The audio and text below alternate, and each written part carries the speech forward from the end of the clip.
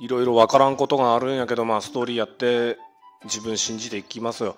あのー、地味。あ、音ガエルもキャラなんやね。マリオメーカーの新しい。動き始めたね。ワンの時もいたけど、多分。はい。あのー一応この子らに関係はちょっと近いものは出るんですよね。この子らっていうのは消しゴムとかアンドゥ剣とかに、アンドゥ犬っていうんですかね。うん、その子らに近い感じのものは出るんですけど、カエルに近いものは何なんですかね。今回音も結構増えてて、めっちゃ音鳴るやん。めっちゃ音鳴るようになってるやん。そうそうそう。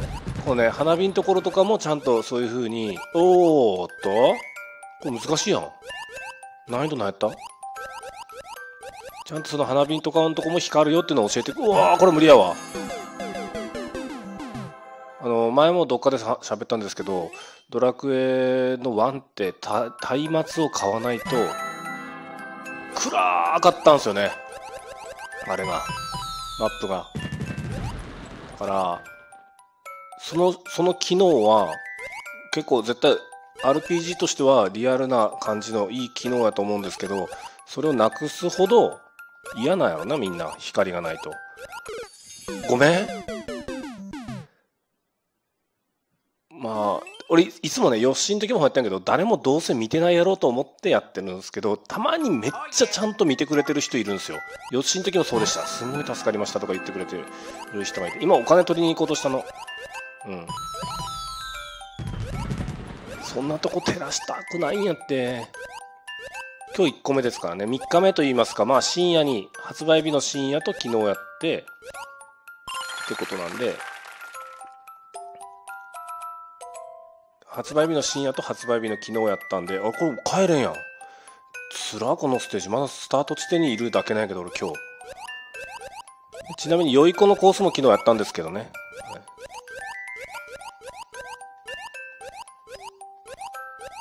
辛いな、ここ。あー、辛いな見てなかった、後ろ。ごめん。下手すぎるわ。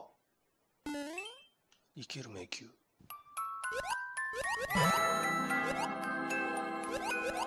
見た。今全部見た、俺。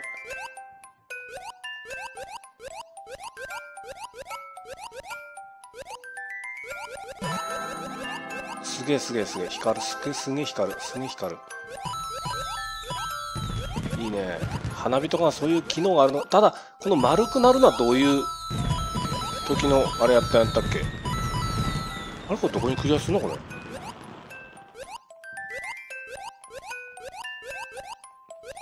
丸くなるはどういう機能やったっけ？どシーンスキンなんかな？これどこにゴールゴールあるやろ？つら、つらつらつらつらい。こっちか。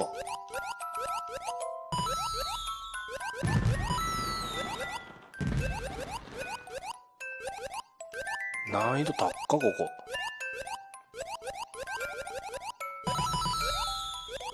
違う違う違う違う、やりたいの違う。あ、やばい。来る。来るコン。よかっ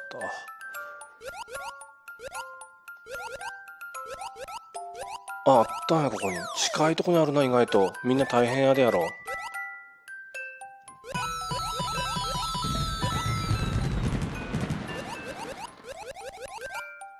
ここか。ん？いけるの？いけんやん。一応あの、旗取っても5機しかないからさ。どこ行けばいいんや、どこ行けばいいんや、これ？こう行って、え？いけんくない？つけたい、松明が。すごい少ないの。松明が。あ、こうや。全然、わかった。面白いコース作るな、任天堂さんはやっぱり。ん？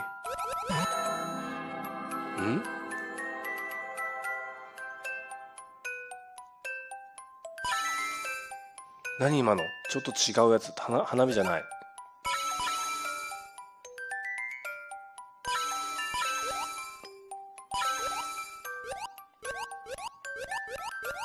いやー、面白いな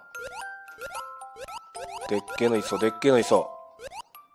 う。何もないと見せかけてでっけえのいすああハタハタいる。ハタハタじゃねえわ。パタパタのやついる。分かった分かった。パタパタ意外とこっちまで来てくれはる。どうせやったらねお金いっぱいもらっておくんです。コインが重要なんでね。パーツって何あれ？パーツマイナスって何あれ？パーツ見れるんけあれ？俺初めてずっと左下にあった。もう俺ストーリー30ステージ目ぐらいなんやけどもう初めて見たんやけど下にパーツっていうボタンがあったこと初めて気づいたんやけど。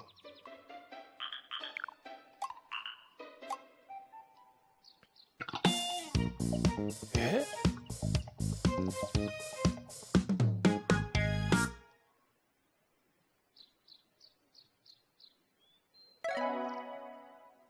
なんで？カエルの時だけなんで？他の時はなんかね花花ちょっともっとねインドアな感じの人たちやったんですけどね。もう一個あるんやね。行きます？じゃあ次の動画で。